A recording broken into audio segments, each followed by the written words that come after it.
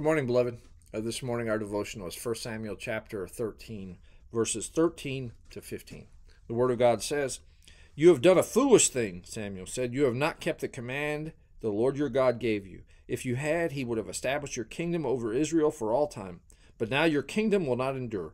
The Lord has sought out a man after his own heart and appointed him ruler of his people, because you have not kept the Lord's command.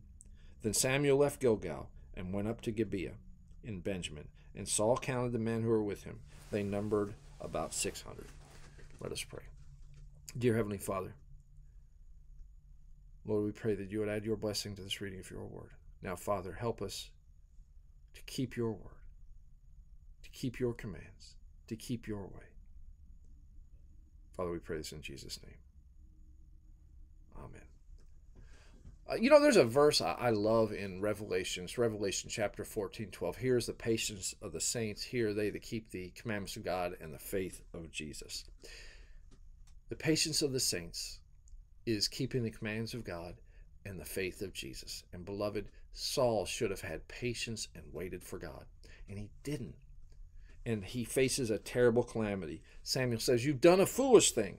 Beloved, God speaks to us when we stop being patient, waiting Him, and try to take charge ourselves. You've done a foolish thing. You're not doing what God wants. Samuel said, You have not kept the command the Lord your God gave you. If you had, he would have established your kingdom over Israel for all time. Beloved, there is a penalty for disobeying the Lord, for not following God's way. Beloved, we face in the same way. Uh, we face problems in our lives. We face problems in our marriages and in our, with our families because of disobedience to the commands of God. If we would simply walk in the way of God, things would be so much better. But we don't. And we need to learn this lesson today. Begin walking in the Word. If the Word says it, I do it. If the word says don't do it, I don't do it. If the if the word encourages me in a certain direction, that's the direction I want to go.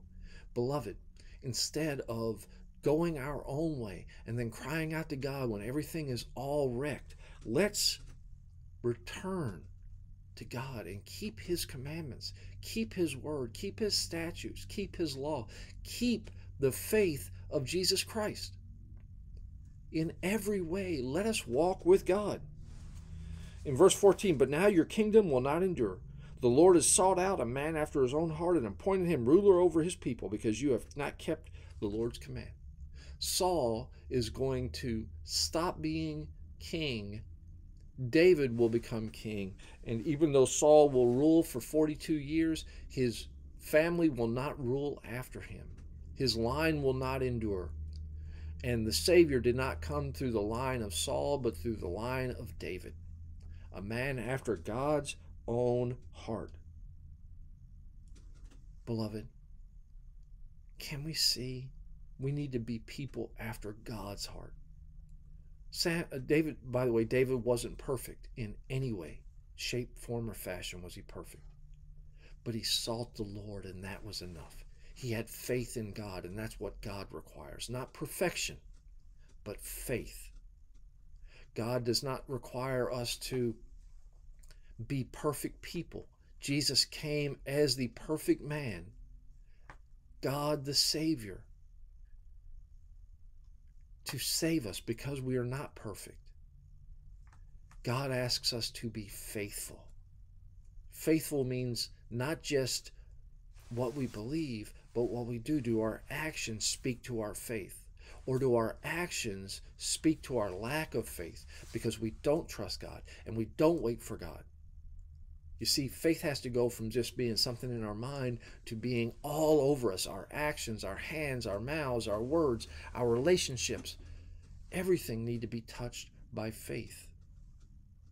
The word of God for today ends with Then Samuel left Gilgal and went up to Gibeah and Benjamin, and Samuel counted the men with him. With him, they numbered about six hundred.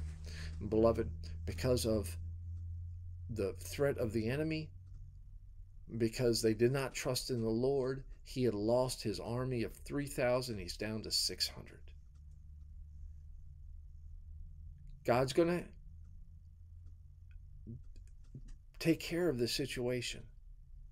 But it would have been so much better if Saul and the people would have been faithful and trusted in God. Beloved, it's so much better if we will be faithful and trust in God. Let's make that our watchword today.